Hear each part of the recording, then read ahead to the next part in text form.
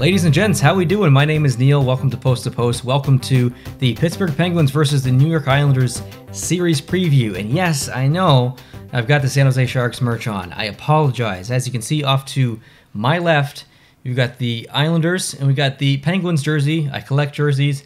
I only have one of each team. Unfortunately, one of the basically the two teams that I only have one jersey of each team, and they're playing each other, so I can't wear the any other jerseys I have. I tried to pick a neutral team in the West Division, and I just got this jersey, and I honestly, selfishly, just wanted to wear it. So I apologize. Peep over to my right to see the video coming next, the series coming next. So the Pittsburgh Penguins versus the New York Islanders has some history, and it is interesting history because there's there is re- revenge potentially upon us, and uh, it's going to be a potentially boring series to watch. I don't mean that to sound offensive, but guys, the Islanders and aren't the most entertaining team to watch. They're pretty defensively minded, so I don't think it's going to be on the top of priority lists and a lot of people watching. But it's going to be very good technical hockey. I guess we'll, we'll put it that way. Very good technical hockey. If you're interested in learning about defense, probably watch this series. But we're going to break down some stats from the season before we get into my personal opinions on who I think is going to win and how many games, compare the teams a little bit. Let's look at stats. Okay, Pittsburgh, 37 wins this season. And I'll just admit, or I'll just say real quickly, there is a Pittsburgh video coming of basically a seasonal report card. I'm going to talk quite in depth about the team, but I just want to say how impressed I am with the Pittsburgh Penguins. If you know me, if you're familiar with the channel, you guys know that I'm not a Penguins fan but I am I can't say enough good things about the Penguins this year. Objectively, what a fantastic team! Um, tremendous what they've been able to do in the last decade, regardless of the people who have left, people have come aboard, uh, working through chemistry, uh, aging core, just remarkable that they're continuing to be this competitive. So I, I really can't say enough good things about the Penguins. So 37 wins for the Penguins versus the Islanders 32, losses 16 to 17. So one more loss for the Islanders, but that's pretty close, guys. OT, three for Pittsburgh and seven for the Islanders. Uh, if we look at points, 77 for Pittsburgh, 71 for the Islanders. Here's where things get quite interesting. We can going to compare goals for and goals against.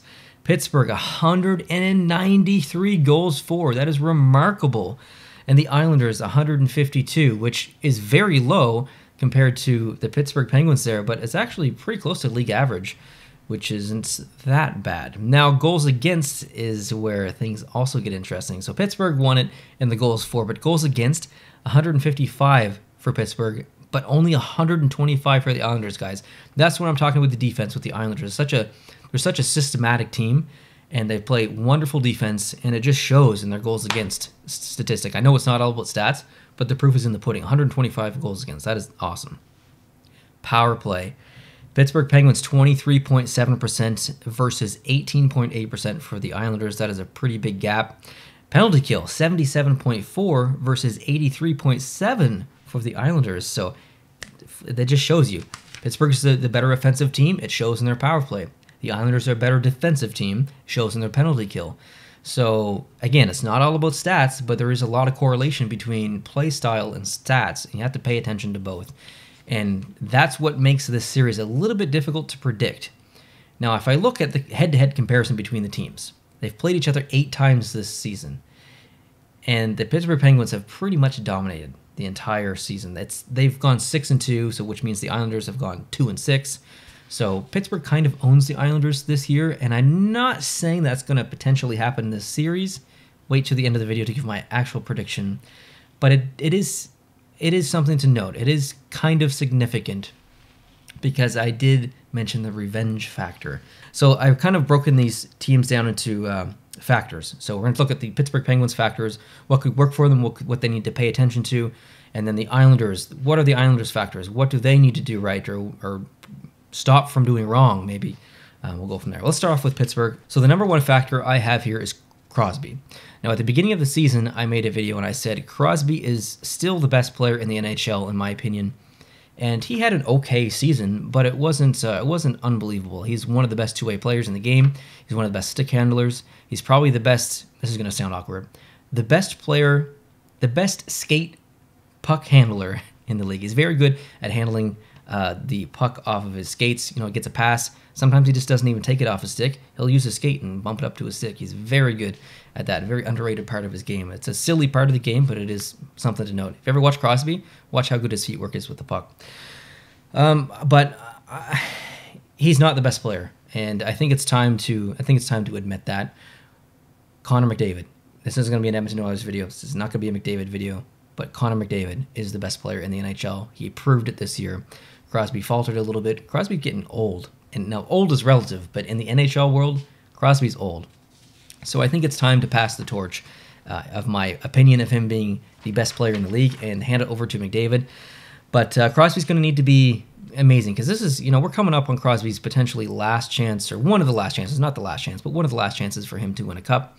The team is is aging, and if he stays with the Penguins, I don't know if things are going to get better. They make it more difficult. It's it's hard to predict. So this this is a big year for Crosby. The other factor I have is Letang. Now uh, Letang is known for getting injured like every day of his life. But for whatever reason, Letang has been super healthy recently, and not only healthy but incredibly productive. A very underrated player of the team. He doesn't get as much praise as he should, and I think he could be a massive factor in the series. He could be. I don't like to say that a player can drag a team to the next round because it really is a team effort.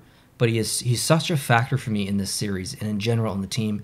He could make or break games, and I guess technically that could you know make or break a series. So uh, keep a keep a close eye on Letang. He's probably going to do some pretty awesome things, and if he doesn't, I'm not necessarily going to be surprised. But he's having a pretty good year. Uh, the next factor I have is is the is the depth, and if you're familiar with Pittsburgh, you know they have it. Guys like Rust, uh, Dumoulin, uh, McCann. They've got so many guys who can just contribute, not just defensively, but uh, defensively, physically, in situations like on the power play, uh, on the penalty kill. It's a really dynamic roster. So I've I've really enjoyed watching Pittsburgh. That's a hard sentence for me to say, but I've really enjoyed watching Pittsburgh this year. It's a fun team to watch, and they've kind of done it without Malkin the entire year, which um, you know it's, it's impressive. They really did some special things this year. So keep an eye on their depth and um, goaltending. Now, I was extremely critical of their goaltending, I guess, at the beginning of the year. I just had a lot of question marks. I didn't really feel faithful in their goaltending. And by goaltending, I mean Jarry and DeSmith. Now, Jarry's played, Jarry's played 39 games, DeSmith has played 20 games. Both are pretty good statistically. Um, so I'm, I'm, I'm bringing them up not to really criticize them or, or say anything negative. I'm just I'm just bringing the I don't know factor still a little bit into the playoffs, but I don't I don't think it's going to be an issue. I think they're going to be fine. I don't think they're going to blow any games or anything like that. As long as they play like average, I think Pittsburgh will do well. So the Islanders, let's segue into them. What are their factors? Uh, their biggest factor to me is their system or their, their defensive system, which is you know Trotz's system. He can do. He can take a lineup. It doesn't even matter what players are on the team.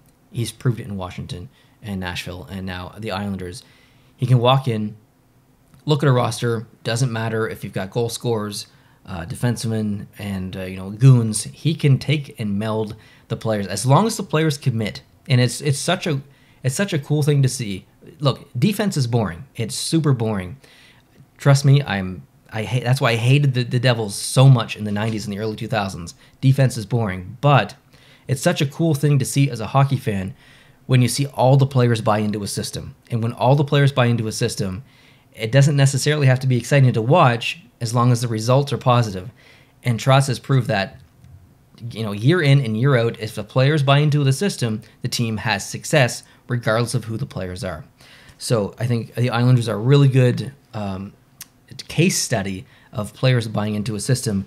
And that is their biggest asset, really, is their defense and their willingness to commit to that system and stick with it. And even if they don't like it, as you know, as I'm sure Barzal is you know tired of, of trying to be a little bit more responsible than he wants to be but he's still buying into it and he still has liberties he can still do what he wants to for the most part and stuff but you're not going to see him go all mcdavid every single game he has to be he has to even though he's an offensive player he has to be he has to think defense versus offense which is difficult for him but he's, he still does it because he buys into the system and it works so that is their biggest asset uh, goaltending varlamov has been very good I'm not. I'm not. I'm bringing him up, but I'm not worried about it. Kind of like Pittsburgh. I'm. I'm not really worried about it, but if something does go wrong, it's not necessarily going to surprise me, but we'll see. And uh, they got a decent back backup in Sorokin. Now depth, they ha- also have depth. They've got Bailey and Eberle and you know Cizikas and, and Beauvillier and a bunch of players on there. That this team is literally built around depth because that is how the system works. Every player contributes. It doesn't matter what line you are. You play the same system. Uh, you and you you just you do your work. You go to work and you get it done. And that's kind of the mentality of the Islanders, which again isn't exciting, but it is work. And it it at the end of the day you get paid. And uh, depending on how well you work this playoffs, you're going to get paid, and that paid is a big old shiny trophy. So I don't uh, I don't know who's going to win this series. I with everything that I just said, I I have a prediction, but I'm not confident in it. I don't feel strongly one way or the other. It wouldn't surprise me if the Pittsburgh Penguins stomped the Islanders. It wouldn't surprise me if the Islanders stomped the Penguins. It's just it's a hard series for me to gauge. So I've got Pittsburgh in 7. I think experience factor is going to come in a little bit with Pittsburgh. Not that the Islanders don't have experience, but I'm just thinking that there's there's a really strong core in Pittsburgh, and I'm wondering if that experience they've been there before multiple times. I'm wondering if that's going to pull them through a little bit further. Um, maybe they have some more gas in the tank. So I'm saying Pittsburgh in seven. I brought it to seven games. I, it's a weird series. I like. I, I, don't know. It's a weird series to gauge. So let me know down below in the comment section. Do you guys think Pittsburgh's going to win? Do you think the Islanders are going to win? Leave your predictions down below because I'm coming back to these videos after she's all said and done, and we're looking at what you guys think. So thanks guys for watching. I appreciate it. Make sure you hit the subscribe button down below to catch the next series preview. The ones after that, jersey concept videos, jersey unboxing videos, logo ranking videos, and all kinds of hockey talk, all kinds of playoff talk on the channel. We'd love to have you on board. So hit the subscribe button, and I'll catch you guys real soon. Have a great day. Adios.